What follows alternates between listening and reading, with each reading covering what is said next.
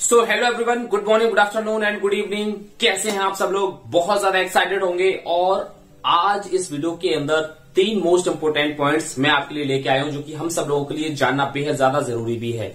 बहुत सारे लोगों के बीच में कंफ्यूजन भी रहती है, बहुत सारे लोगों के सवाल भी रहते हैं तो हो सकता है कि उनके सारे के सारे सवाल और सारे के सारे जो कंफ्यूजन है, वो भी दूर हो जाएगी और एक आज की जो एक लेटेस्ट अपडेट है, वो भी कंप्लीट यहाँ पर हो जाएगी।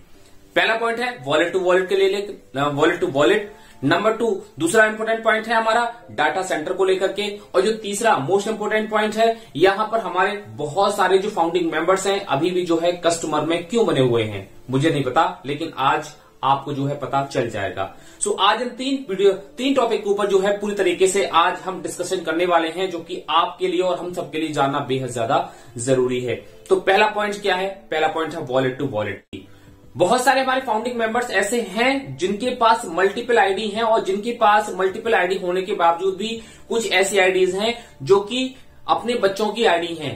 क्योंकि ऐसे बहुत सारे कमेंट बहुत सारे मैसेज एंड बहुत सारे जो कॉल्स हैं मेरे पास इसके रिगार्डिंग आती रहती हैं और आज भी बहुत सारे हमारे फाउंडिंग मेंबर्स हैं जो वॉलेट टू वॉलेट का इंतज़ार कर रहे हैं। सबसे पहली चीज़ तो ये है कि एस सर ने काफ़ी काफ़ी दिन पहले जो है बताया था कि हमारा एक वॉलेट टू वॉलेट भी इसके अंदर ऑप्शन रहने वाला है। क्या ये वाकई में हमारा ऑप्शन आएगा या नहीं आएगा? बिल्कुल। ये 100 परसेंट सच है कि ये ऑप्शन आएगा, लेकिन अभी नहीं है। दूसरी बात ये है कि अगर ये ऑप्शन अगर आ जाता है तो सबसे ज़्यादा फ़ायदा जो है यहाँ पर किस तरीके से होगा और इसको हम किस तरीके से इस्तेमाल कर पाएँगे? तो सबसे सबसे बड़ी चीज़ ये है कि जिनके पास मल्टीपल आईडी हैं और खास तौर से ऐसी आईडी हैं जिनका माइनर में अकाउंट है या छोटे छोटे बच्चों के अकाउंट है जिनको आगे चल के ऐसा लग रहा है कि हाँ आ, उनको उनका जो एड्रेस है या उनका जो एक केवाईसी है उनको अप्रूव करने में दिक्कत आ सकती है लेकिन उनकी आईडी पर अगर इनकम जनरेट होती है तो वो किस तरीके से वहाँ से विड्रॉ कर पाएँगे? सो so, यहाँ पे वॉलेट टू वॉलेट का जो एक फ़ायदा रहेगा वो सबसे पहला फ़ायदा तो यहाँ पर भी हमें नज़र आता है। यानी कि आपकी जो एक मेन आईडी है, आपकी आपकी जो एक प्राइमरी आईडी है, जिसका आपका बैंक अकाउंट से सही तरीके से अटैचमेंट हो चुका है, जिस आईडी पे आप सही तरीके से काम कर रहे होंगे, जिस आईडी पर आप अच्छी तरीके से बिज़नेस कर रहे होंगे, अपना जो भी इनकम है, वो भी आसानी से विड्रॉ कर रहे होंगे तो जो प्राइमरी आपका अकाउंट होगा, उस प्राइमरी अकाउंट में आप अपने दूसरे अकाउंट से यानी कि दूसरे आईडी से अपना वॉलेट टू वॉलेट आप ट्रांसफ़र कर सकते हैं।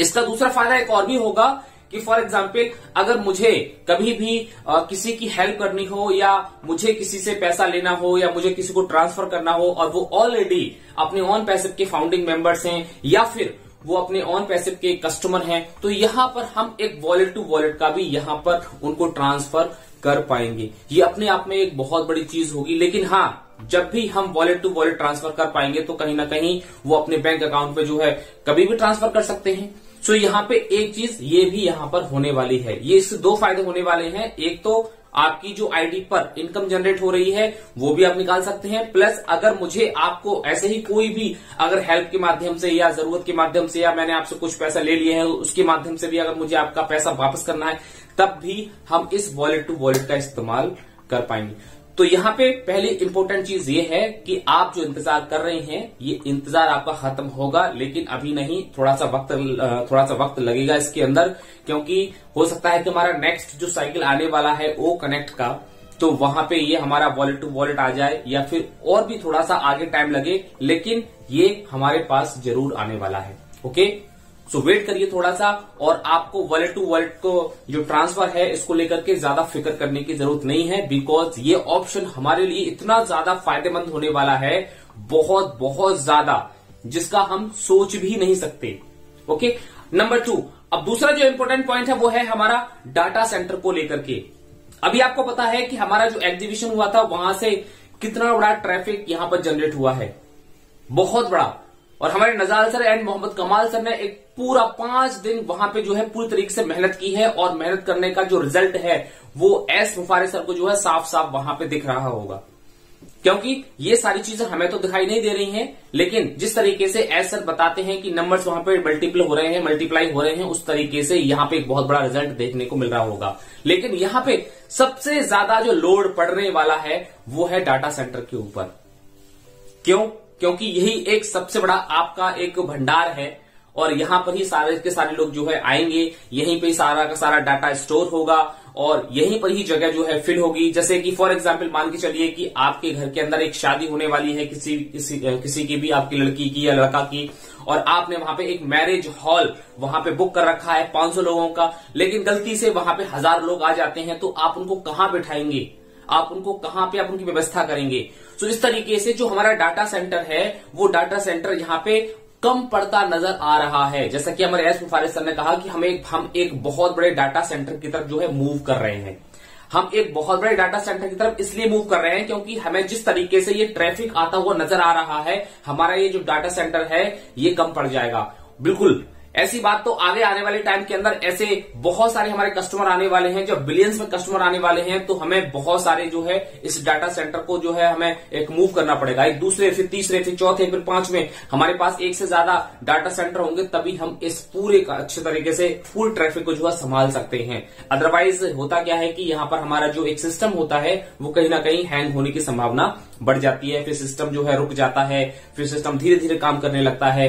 तो यहाँ पे ये दिक्कत ना आए। इसलिए यहाँ पे टेक्निकल तरीके से जो चीज़ें बहुत ज़्यादा ज़रूरी हैं यहाँ पे ट्रैफ़िक लाने के लिए और ट्रैफ़िक को मैनेज करने के लिए और ट्रैफ़िक को संभालने के लिए, वो सबसे ज़्यादा ज़रूरी चीज़ पर काम कर रहे हैं हमारे एस सर एंड उनकी टेक्निकल टेक्निकल स्टाफ तो इस तरीके से ये जो डाटा सेंटर है ना, ये हमारा एक मेन पार्ट होता है किसी भी आईटी सेक्टर की कंपनी का। क्योंकि अगर ये डाटा सेंटर सही तरीके से मैनेज नहीं हो पाया तो कहीं ना कहीं हम जो है ट्रैफ़िक को गेन नहीं कर पाएँगे हम ट्रैफ़िक को नहीं ले पाएँगे। सो आई होप आपको बहुत ज़्यादा एक्साइटमेंट होनी चाहिए अंदर से बिकॉज़ हमारा जो डाटा सेंटर है एक बहुत बड़े डाटा सेंटर की तरफ़ हम जो है मूव कर रहे हैं। और यही एक प्रोग्रेस की धीरे धीरे निशानी होती है। जो तीसरा मोस्ट इंपोर्टेंट पॉइंट है वो है हमारा बहुत सारे हमारे जो कस्टमर हैं आई I मीन mean, बहुत सारे हमारे जो फाउंडिंग मेंबर हैं वो एज ए कस्टमर में जो है अभी भी रजिस्टर हैं। ऐसे मेरे पास दो तीन कमेंट भी आए हैं और एक दो लोगों ने मुझसे कॉल करके भी पूछा है तो मैंने उनको बताया था कि आपको इस तरीके से करना है। तो अगर आप अभी भी एज ए कस्टमर में रजिस्टर हैं तो प्लीज़ आप अपने आप को चेक करिए।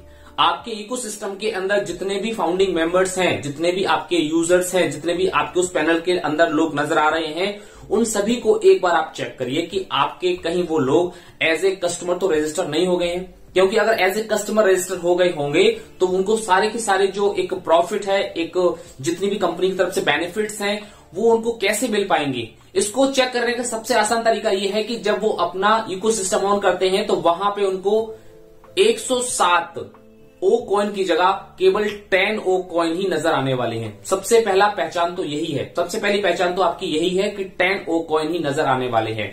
दूसरी सबसे बड़ी पहचान यह है कि जब आप प्रोफ़ाइल पर क्लिक करेंगे तो वहाँ पे आपको डिलीट ऑप्शन वहाँ पे नज़र आने वाला है। डिलीट ऑप्शन अगर आ रहा है तो आपका जो अकाउंट है, वो कस्टमर में क्रिएट हो गया है। और अगर आपको कस्टमर में क्रिएट हो गया है, और आप एक एज ए फाउंडिंग मेंबर हैं तो आपको वहाँ से जाकर के डिलीट करना पड़ेगा। ये दो मेन आइडेंटिफिकेशन है, दो मेन पहचान है। अगर इन दोनों पहचानों को अगर आप अपने इकोसिस्टम में देख रहे हैं, ये दोनों चीज़ें आपको इकोसिस्टम में नज़र आ रही हैं।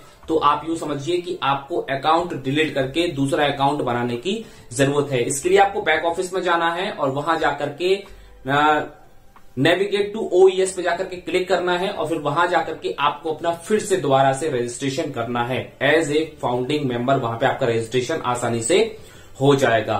और जब ये हो जाएगा तो आपको वहाँ पे नाइन्टी सेवन डॉलर जो है वहाँ पे नज़र आएँगे plus ten and one zero seven एक सौ सात डॉलर वहाँ पे जो आपको नज़र आएँगे। तो आप समझ जाना कि आपका अकाउंट अच्छी तरीके से अब एज ए फाउंडिंग मेंबर वहाँ पर क्लियर हो चुका है।